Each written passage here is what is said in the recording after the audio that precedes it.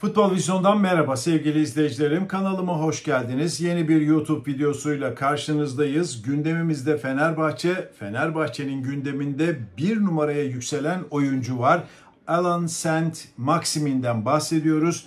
Ee, gerçekten de çok özel bir oyuncu. Biraz ondan size bahsetmek istiyorum. Çünkü oyuncunun transferi içinde Jose Mourinho'nun bizzat devreye girdiği bilgisi de özellikle Arap coğrafyasındaki yayın kuruluşlarında da var.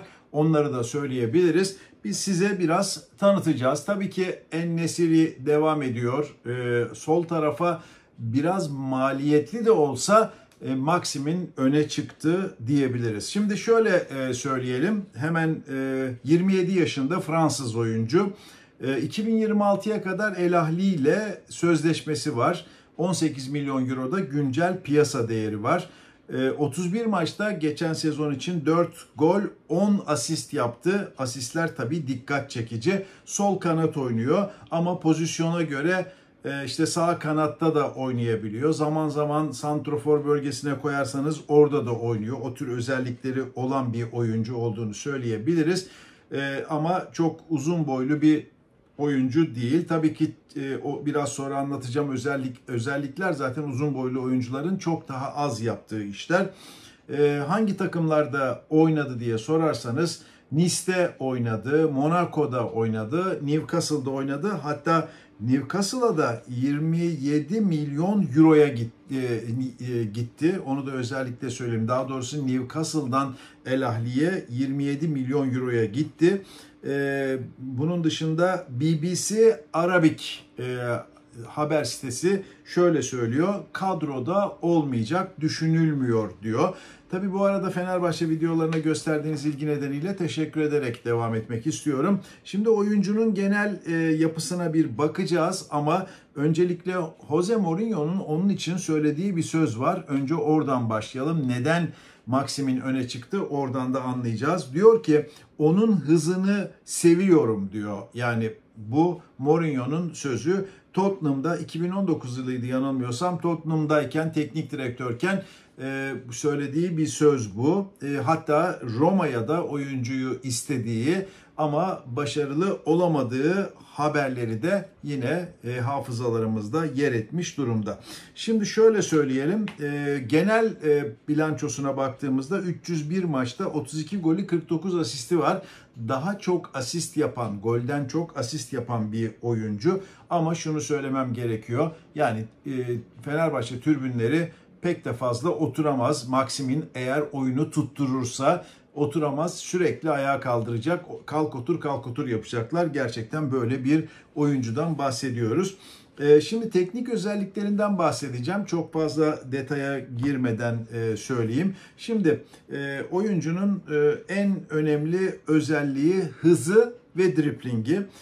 Çok hızlı bir oyuncu. Topu ayağında tutarken yüksek hızda ilerleyebiliyor. Yani hem topu ayağında ayağına alıyor hem de hızlı olarak ilerleyebiliyor. Bu da zaten teknik kapasitesinin yüksek olmasından kaynaklanıyor ki teknik kapasitesi en iyi noktalarından biri. Şuraya not aldım. Zaten izle, izlediğimden dolayı söylüyorum.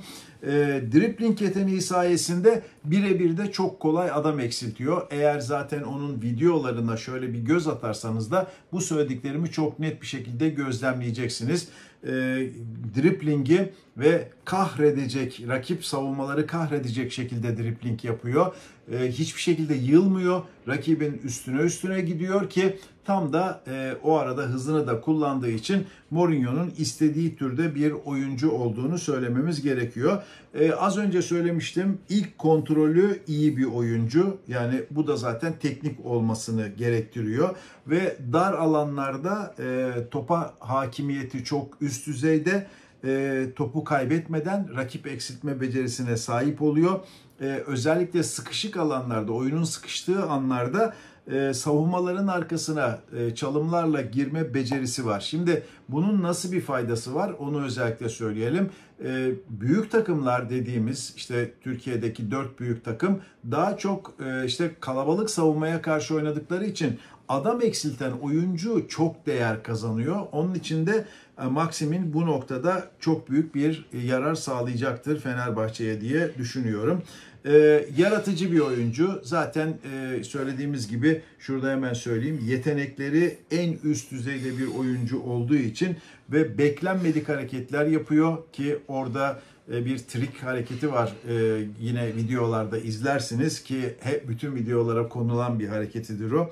E, böyle arkadan aşırarak attığı bir çalım var e, pas bir de şöyle bir şey var pas e, yüzdesinin iyi olduğunu yani gol atmak kadar e, arkadaşlarına gol attırmayı da seven bir oyuncu olduğunu söyleyelim. Sadece bu sezon için söyleyelim mesela bu sezonki verilerde 31 maç 4 gol 10 asisti var. Genel bilançoda da 32 gol e, 31 maç 4 gol 10 asist ama genel bilançosunda 32 gol 49 asist var. Yani neredeyse %50 fazla e, asist yapmış. Yani asist yapan bir oyuncu olduğundan bahsetmemiz gerekiyor. Bu da tabii e, yanında oynayacak oyuncuların iyi bir santroforun e, çok da işine yarayacak bir gelişme olduğunu söyleyebilirim.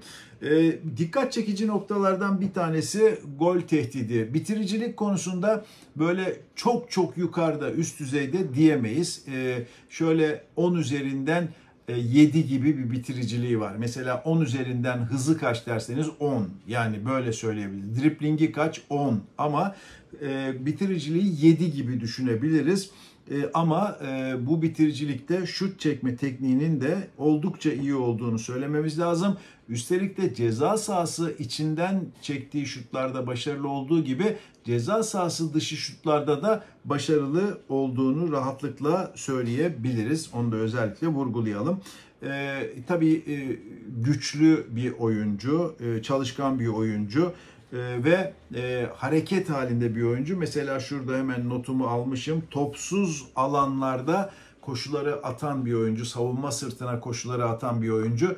Eğer o iç koridor paslarını atabilirse Fenerbahçe'de oyuncular mesela Tadic'i içeri çektiniz, solo onu attınız. O koşuları çok iyi savunma sırtına atan bir oyuncu ve bir özelliği daha var. Evet e, savunması yani bu tür oyuncuların savunmalarını çok yüksek e, bulmayız. Evet öyle bir durumları vardır. Ama şöyle söylemek lazım. E, savunmaya da destek olmaya çalışan bir oyuncu olduğunu söylemem gerekiyor ve son derecede e, enerjik bir oyuncu yani agresif ve atletik bir oyuncudan bahsediyoruz ki zaten hocanın istediği tip oyuncu da bu. E, hücumda son derece etkili rakip savunmaları e, zor durumlara bırakabilecek bir oyuncu olduğunu söyleyebilirim. Hemen şöyle söyleyeyim yani genel e, durumuna da şöyle bir bakalım verilerden takip edelim isterseniz genel durumunu da. Genel durumundaki en e, öne çıkan özellikleri e, driplingi, e, ilk kontrolü, teknik kapasitesi bu arada orta yapma becerisi de 10 üzerinden 7 diyebileceğimiz bir noktada. Pas becerisi keza aynı şekilde e, penaltı kullanabiliyor. Onu da özellikle söyleyeyim. Yani kullanabiliyor derken herkes kullanır da yani e, etkili penaltı kullandı, kullanıyor diyebiliriz. E, özel yetenekleri olan e, ve e, soğukkanlı bir oyuncudan bahsediyoruz. Çevik, dayanıklı, hızlı ve e, hızlanma yani bir anda hızlanma becerisi olan bir oyuncudan bahsediyoruz. Dolayısıyla bütün bunlara baktığımızda e, avantajlar var. Tabii ki e, dezavantaj nedir derseniz, şimdi bütün bunları saydık saydık hiç dezavantaj. Tabii ki bazı dezavantajlar var. Yani mesela savunmaya yardıma gelir ama savunma becerileri e, normal bir e, ofansif oyuncu e, özelliklerinde e, onu özellikle söyleyebiliriz.